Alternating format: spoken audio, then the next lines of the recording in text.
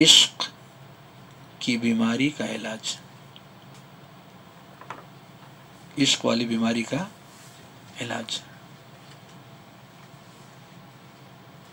इश्क।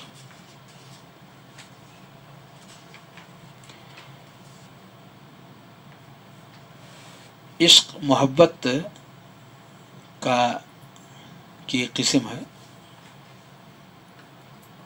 जो इंसान के दिल के अंदर पैदा होती है। और वो मोहब्बत किससे होनी चाहिए और किस नौीयत की होनी चाहिए, इस हवाले से मौलफ़ ने इस किताब के अंदर बहुत तफसील से और बहुत नफा बख्श गुफ्तु फरमाई है और यही वो असल बीमारी है। जो सवाल करने वाले के पास थी और उसका वो हल चाहते थे। तो मौलफ़ ने उसके इलाज के तौर पर दो रास्ता ज़िक्र किया है इस किताब के अंदर। पहला रास्ता जो ज़िक्र किया है कि इश्क का जड़ पकड़ने से पहले, जड़ पकड़ने से पहले उसे जड़ से उखाड़ दिया जाए, उसको आने ही न दिया जाए। यानी जिस ज़रिए से इश्क इंसान की ज़िंदगी में आती है, इश्क की सिफत, उसको क्या किया जाए? उसको आने ही न दिया जाए। उस मादे ही को ख़त्म कर दिया जाए। उस ज़रिए और सबब ही को दूर कर दिया जाए। जैसा कि अभी मैंने इख्तलात का ज़िक्र किया, मसला। इख्तलात का मसला। तो इख्तलात को परवान चढ़ाया ही न जाए। आने ही न दी जाए उसको ज़िंदगी में। ये बतौर मिसाल है। ऐसी मिसालें बहुत हैं। और दूसरा जो रास्ता ज़िक्र किया मौलिफ ने, कि अगर वो ज़िंदगी के अंदर आ जाए तो फिर उसका इलाज किया जाए। लेकिन इलाज का जो तरीक़ा है वो तरीक़ा भी जानने का है। कहते हैं कि वो दो में से एक हो सकता है, या दोनों हो सकता है। नंबर एक या पहले पहले मसले के हवाले से दूसरा दूसरे से पहले पहले मसले के हवाले से कि इंसान की ज़िंदगी में वो बीमारी आए ही नहीं। इश्क की बीमारी। उसकी ज़िंदगी में आए ही नहीं।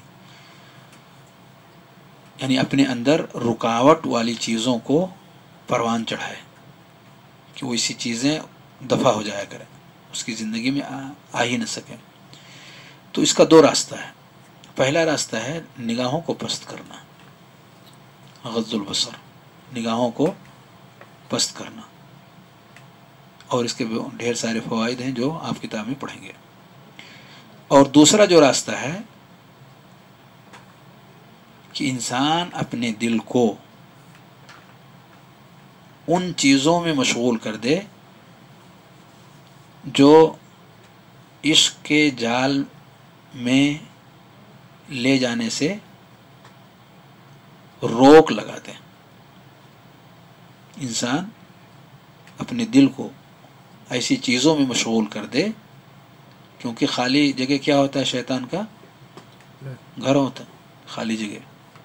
तो अपने दिल को ऐसी चीज़ों के अंदर मशगूल कर दे कि वो चीज़ें इश्क के जाल में उसे ले जाने से रोक लगा दें और इंसान पूरे तौर पर महफूज हो जाए। ये जाल की नोयत अगर समझना चाहें कि किन चीज़ों में उस दिल को मशगूल कर दिया जाए कि जो माने बन करके खड़ी हो जाए, वो क्या चीज़ें हो सकती हैं कि दिल उन चीज़ों में मशगूल हो जाए। और वो रुकावट बन करके खड़े हो जाएँ, इश्क वहाँ के करीब ना आ सके। नंबर एक, खौफन मुकलिक। खौफन मुकलिक। इंतहा दर्जे का खौफ। इंतहा दर्जे का खौफ। अगर इंसान अपने सामने शेर को पाए, बबरी शेर, घर से निकले और बाहर कौन खड़ा हो? बबरी शेर खड़ा हो। जैसे गेट के बाहर निकले और वो मुँह फाड़े खड़ा हो। क्या करेगा ये? कहेगा आ, बैल मुझे मार।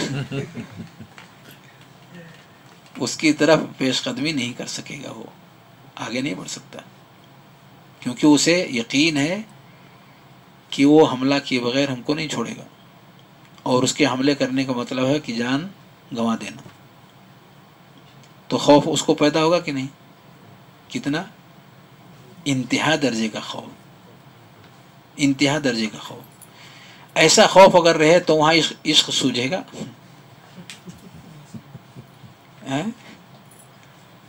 जहाँ जान पे मसला आ गया हो वहाँ इंसान को इश्क सूझेगी नहीं सूझ सकती।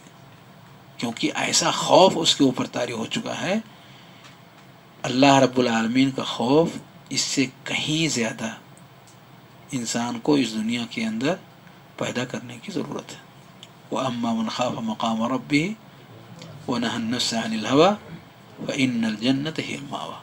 अगर इंसान अपने रब के सामने खड़े होने का खौफ जहन में लाए और अपने दिल को ख्वाहिशात नफसानी से महफूज रखे तो जन्नत अल्लाह रब्लम उसका ठिकाना बनाएगा।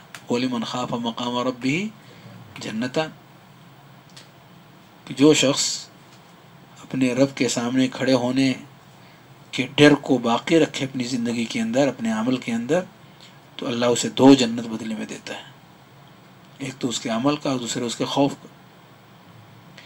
खौफ अगर ऐसा है तो उसे इश्क से क्या करेगा?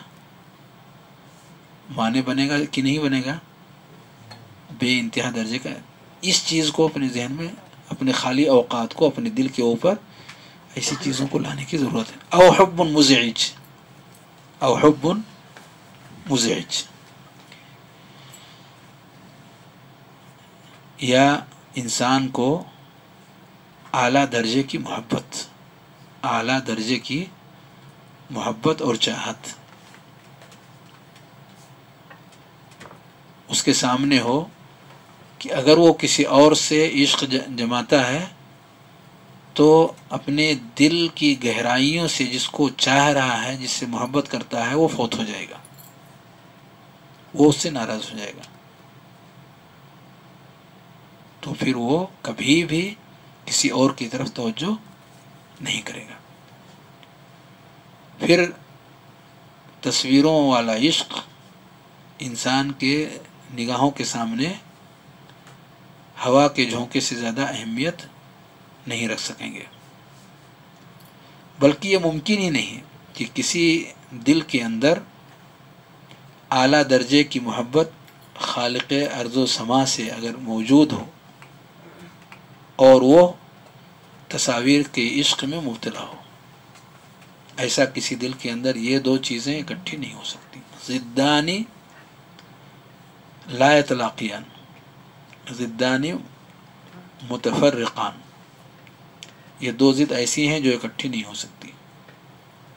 ये दो ऐसी अपोजिट चीज़ें हैं जो एक जगह जमा जमा नहीं हो सकती सच्ची मोहब्बत इंसान से क्या चाहती है? सच्ची मोहब्बत कि महबूब उसका कितना हो?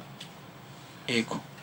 सच्ची मोहब्बत एक महबूब का तकाजा करती है। सच्ची मोहब्बत। अगर खालिक के साथ सच्ची मोहब्बत है तो वो अपने खालिक के इस मोहब्बत में किसी और को शरीक और साजी दिल के अंदर किसी और को दाखिल और शामिल नहीं कर सकता। दिल का यही मैलान अगर खालिक से हट करके मखलूक के किसी भी हिस्से में जाता है, वहाँ शिरक पनपने लगता है। इसीलिए इसको स्वर में मुबतला लोग शिरक जैसी ख़तरनाक बुराइयों के अंदर बड़ी आसानी से उसका शिकार हो जाते हैं। और हर तरह की बुराइयों का वो शिकार हो जाते हैं।